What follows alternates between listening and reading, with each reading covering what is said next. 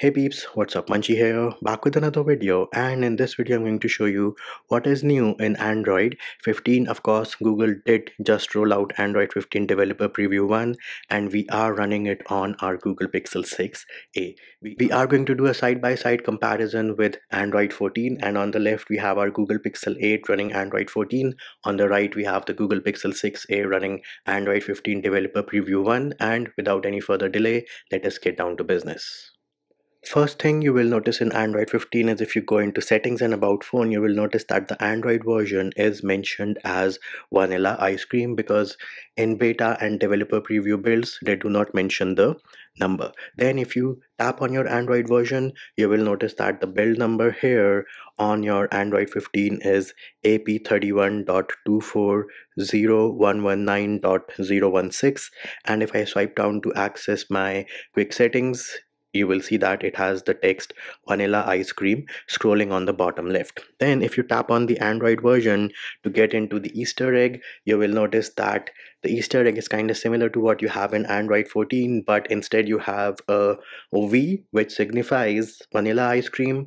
And hopefully with the stable build of android 15 they put the text android 15 over here. And then if you press and hold on this easter egg you will feel the subtle vibrations you'll feel the lines moving fast and then you will get your game wherein you can move around in space in your own spaceship on both android 14 and android 15 developer preview 1 the next new change in Android 15 Developer Preview 1 is when you access your screen recorder. So you will notice that you have a new option which says over here a single app. Surprisingly, the option of show touches on screen has disappeared. But once you tap on a single app, you can choose between a single app or the entire screen. Now, once you select a single app, select start recording, it is going to show you a list of applications which are installed on your device. And from here in, you can choose what app you want to use for screen recording. So let us say we want to use the Chrome application and now screen recording has started on the top mm-hmm. right. I did get a notification that screen recording has started. So let us say we are going through wikipedia browsing wikipedia but in the middle we switch over to some other application. Let us say we go to the google play store and then we go into settings. And then we go back to wikipedia do our browsing in wikipedia and again we get distracted. We switch over to some other application. We go to the phones app we go to the play store and on the left of your screen you should be seeing the recording which was recorded by the phone and you will notice that it recorded only the Chrome applications. Our interactions with other applications like say the Google Play Store, the phone app were not recorded. The next new change in Android 15 Developer Preview 1 unfortunately cannot be felt or shown on camera but if you Swipe down to access your quick settings panel and then you move the brightness slider around, you are going to notice a subtle vibration and when you reach the end, you are going to hear a little click. Again, I cannot show this to you on camera, but as soon as you reach the extreme ends and you are going to notice a little sound and your slider action is going to give you subtle vibrations.